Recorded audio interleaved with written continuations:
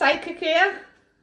It's the second day of my challenge. I've got my t-shirt and I'm off on my walk. I hope to get a couple of miles in.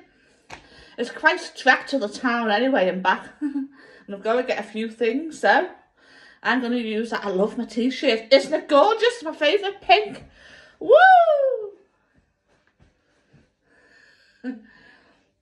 I'm really it's a, it's a cause I feel strongly about, having suffered it myself. So, you know, you got, I, I've turned a negative into a positive. I'm still struggling, I struggle every day, but this helps. I'm out in the fresh air. And hopefully raising money for a good cause eventually, so I hope I meet my target of 60 miles. Take care, see you later, bye bye.